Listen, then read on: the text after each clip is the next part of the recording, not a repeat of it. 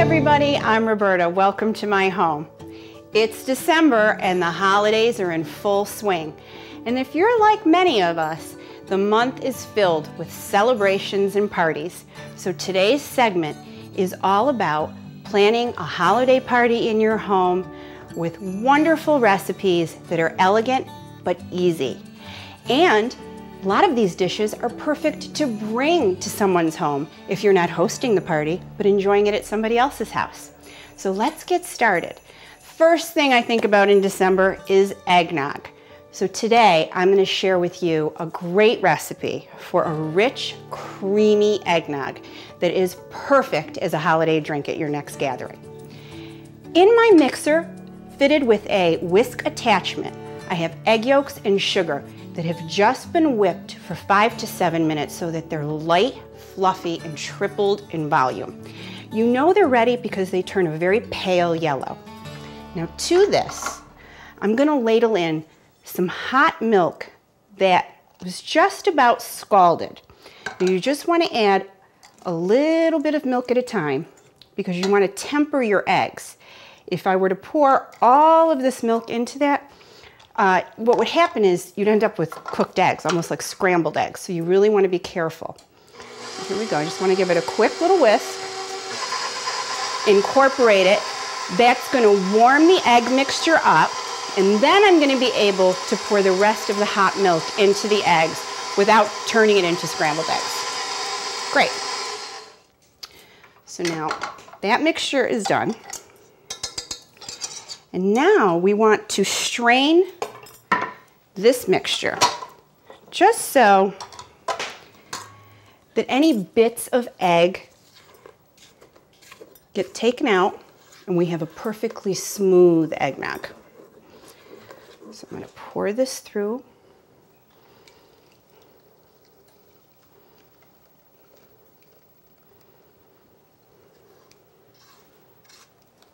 Mm, smells so good. Just get this. And see right there, you just have a little bit of the yolks that you just need to strain out.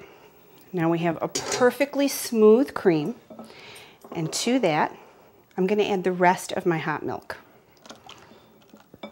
This is such a simple thing to do. I, I think that a lot of people feel that eggnog is hard, time consuming to make, and so they turn to the grocery store to buy some. But you know, it is very, very easy. And you know what I love best is with any remaining eggnog that I have, I make an eggnog flavored cheesecake, which is perfect for the holidays. Okay. So my milk is in my bowl. I'm just gonna give it another quick stir. And now I'm gonna set my bowl on top of cool water bath, which is just ice cubes and water. And this needs to come to a cool temperature before we finish it. And all we have to do to finish it is add a little bit of heavy cream and the whoops and the alcohol of choice. Now a lot of people do rum, a lot of people do whiskey. I like Grand Marnier. I love that hint of orange in the background of my eggnog and it pairs beautifully with a little bit of shaved nutmeg on top. So we're gonna set this aside, let it cool, and we're gonna go on to our next party drink, a great pomegranate cocktail that really says happy holidays. Be right back. So whenever I have a party, I always serve red and white wine, but I also like to have a signature cocktail. And what I'm gonna show you now is this year's signature cocktail in my house. It's so delicious. Very, very simple to make. I have pomegranate tart cherry juice. And it may sound a little different, but it's really easy to find. I found this in Stop and Shop in the produce aisle. So we start out with our pomegranate tart cherry juice. And then we add some vodka. And remember, you're gonna get the exact measurements of this when you download the recipes and then some Grand Marnier. Just gives it a really warm taste and just those subtle notes of the orange with the pomegranate and the cherry really marries beautifully.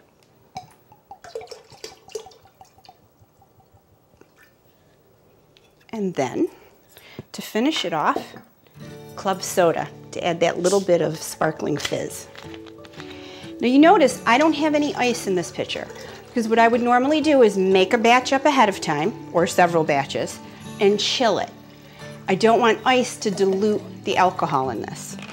So it's completely made. All I have to do is chill it and then you can serve it over ice or as I have right now, a lovely chilled martini glass. I'm just gonna such a beautiful color too.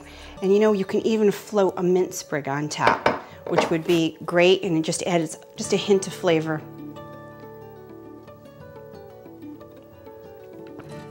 mm, It is delicious. I think your guests are really going to enjoy this cocktail. It might be your signature cocktail this holiday season. Okay, up next, can't have a holiday party without wonderful hors d'oeuvres. I'm going to show you my wonderfully tasty, easy tenderloin on crostini with arugula and horseradish sauce. We'll be right back. One of my favorite hors d'oeuvres to put on a holiday party menu is this great tenderloin on crostini with arugula and horseradish sauce. One of the reasons it's such a great party dish is because it can be eaten at room temperature. It can be assembled ahead of time. Again, freeing you up when your guests arrive. So I have a gorgeous tenderloin that I got right at Stop and Shop and my butcher trimmed it and tied it for me. It really is a lovely piece of meat. And I simply am generous with the olive oil. That's key to adding flavor and moisture to so many meats when you're roasting them.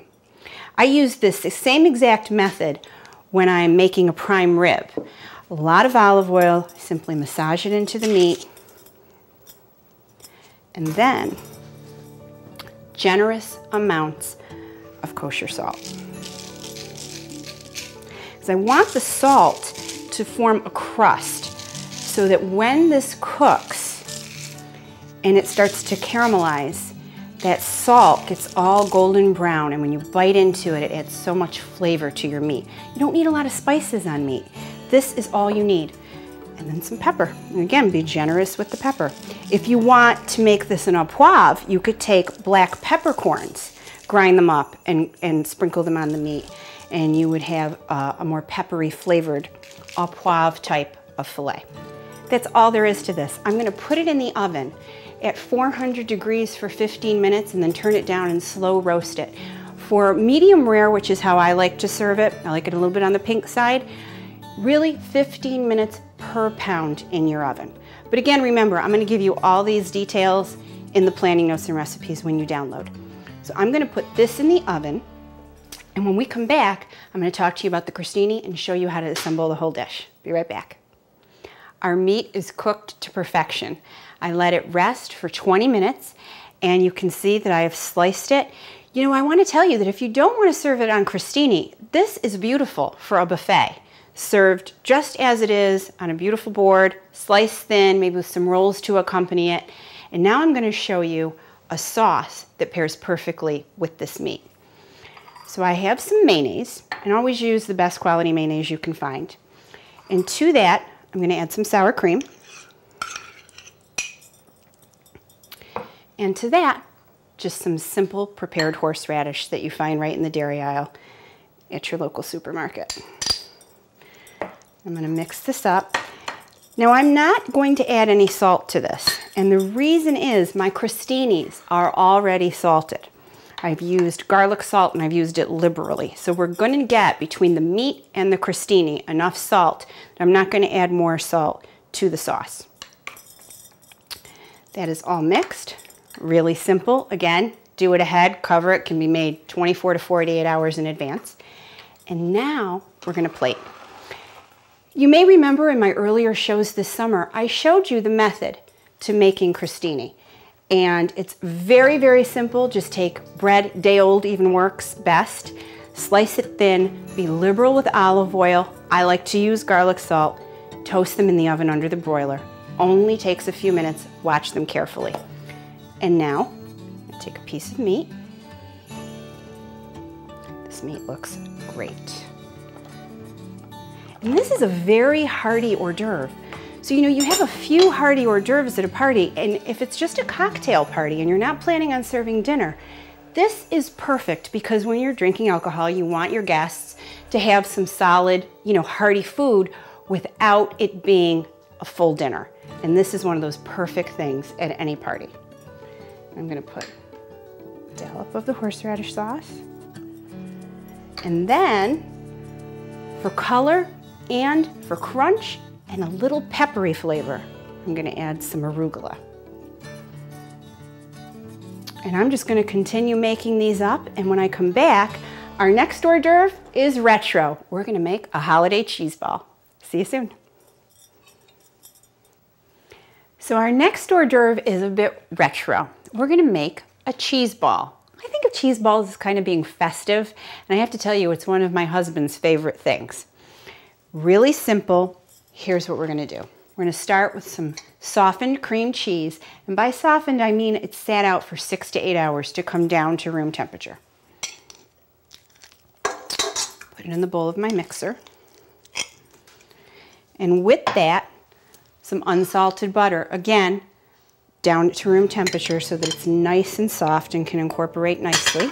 And to that, shredded cheddar cheese.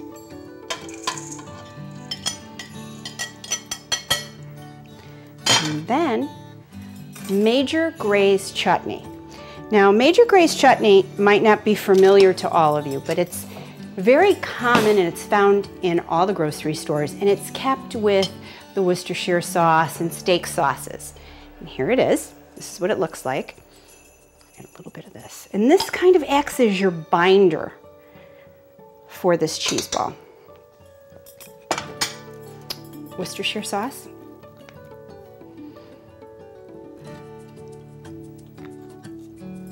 And a little bit of lemon juice. That's all there is to this. It's so easy. So now with my mixer and a paddle attachment, I'm gonna whip it all together and then I'm gonna show you how easy it is to form it in, in to the ball shape just by using plastic wrap.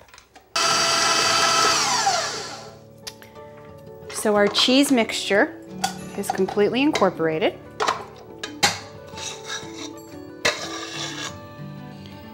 Now we're gonna just pour it out onto a baking sheet that has been lined with saran wrap.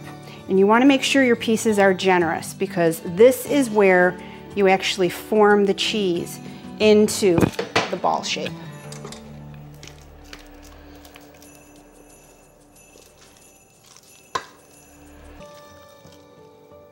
And don't, don't get nervous, it's gonna be soft, but it's very, very easy to mold, very easy to work with.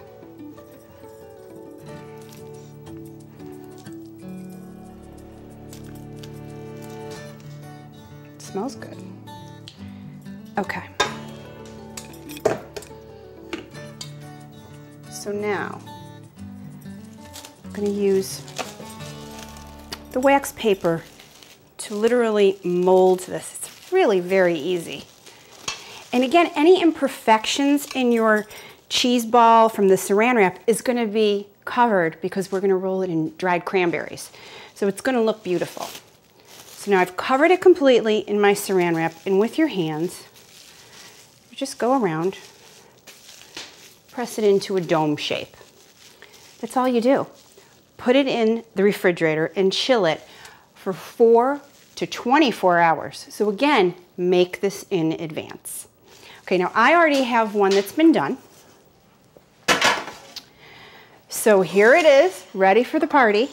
And I've got some dried cranberries that I just ran through the food processor to chop up. And now what I've done is I placed my cheese ball directly onto my serving platter and just put strips of wax paper around the platter. That way, when I'm done topping it with all the cranberries, I can just lift the wax paper sheets out and my serving platter is still clean.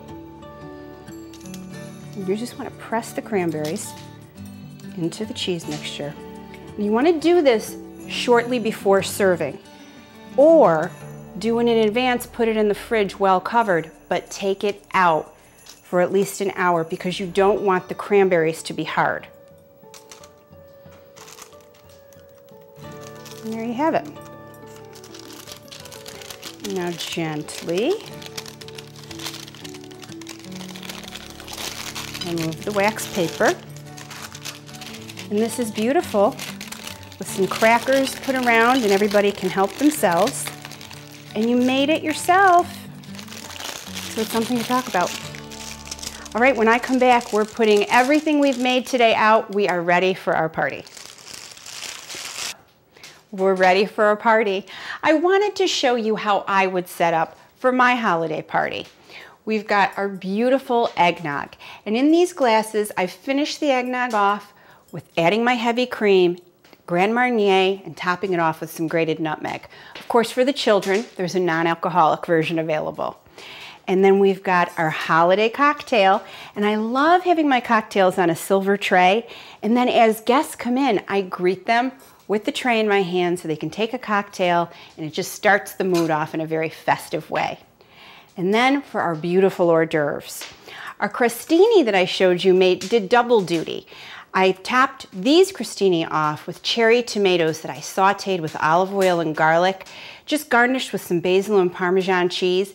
These are, again, a great thing to have on a buffet, and they can be made in advance because the crostini stays crisp our cranberry encrusted cheese ball, our tenderloin on arugula, and then I've also made these cute little puff pastry purses that are just filled with leeks, shallots, and olives. They're delicious. I think we have all the makings for a terrific holiday party, and I hope that I've inspired you to have a wonderful party in your home. I can feel the fire is crackling. It's all warm and toasty in here. The mood is set. Thank you so much for joining us today. And remember, anytime you've got friends and family gathered, you have an elegant occasion. I'll see you next week with more wonderful holiday recipes. See you soon.